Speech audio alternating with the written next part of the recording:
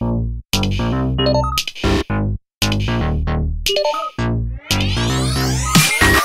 Salut mes cookies, j'espère que vous allez bien. On est mercredi et vous avez vu en début de semaine, on a fêté mes 100 000 abonnés avec une vidéo de slime énorme. Et aujourd'hui, je voulais absolument qu'on célèbre aussi sur le thème de la pâtisserie. Alors pour fêter ces 100 000 abonnés, j'ai décidé qu'on allait réaliser un gâteau énorme, super coloré comme vous les aimez, pour vous, pour moi, pour fêter Carly's Cooking. Vous voulez savoir comment on fait un gâteau surprise pour vous mes cookies? Eh bien allons-y, c'est parti! On aura besoin de 645 g de farine, 400 g de sucre, 180 g d'huile végétale, 560 ml de lait, 190 g de beurre très mou, 3 œufs, une cuillerée à soupe d'arôme de vanille, 45 g de yaourt grec, 4 cuillerées à café de levure chimique, une pincée de sel et du colorant bleu foncé, orange, jaune, rose, vert, violet, rouge et bleu pâle. Première étape, je combine la farine, le sucre, la levure chimique et le sel dans un bol et je mélange rapidement.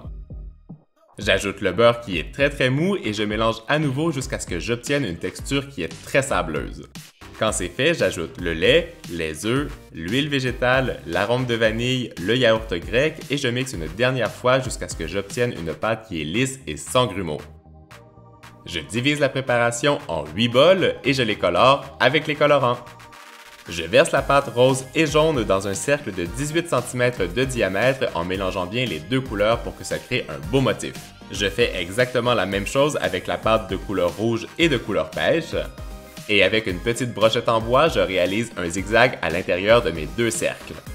Et ça part au four pour 30 minutes à 170 degrés Celsius. Je verse aussi la pâte bleu foncé et verte dans un autre cercle bien beurré. Et je fais la même chose avec la pâte bleu pâle et violette. Je dessine un petit zigzag avec une brochette en bois dans mes deux cercles et ça part au four pour 30 minutes à 170 degrés Celsius. Pour le glaçage et la décoration, j'utilise 500 g de sucre glace, 400 g de beurre mou, une cuillerée à café de vanille, 60 ml de lait et des paillettes alimentaires super colorées. Je combine le beurre très très mou et le sucre glace dans un bol et je mélange pour au moins 5 minutes pour obtenir une texture très lisse et crémeuse. J'ajoute le lait et la vanille et je fouette à nouveau. Mon astuce pour la recette, quand les gâteaux ont cuit et qu'ils ont bien refroidi, vous allez couper le dessus du chapeau, comme ça ils vont tous être égaux et ça va être vraiment facile de réaliser un beau montage. Maintenant, on continue. Je poche un peu de crème au beurre sur un plateau de décoration et je pose mon gâteau bleu et violet dessus. J'ajoute une couche bien généreuse de crémage et je l'étale avec une spatule. Je place mon gâteau rouge et orange sur le dessus et je rajoute encore une couche bien généreuse de crème. Quand c'est bien lissé, je pose le gâteau bleu et vert et je rajoute encore une fois beaucoup de crémage. Je termine avec le gâteau jaune et rose sur le dessus et je rajoute une couche de crème au beurre bien généreuse sur tous les côtés du gâteau. Je poche aussi une spirale sur le dessus avec le reste du crémage et je lisse le tout au maximum avec une spatule.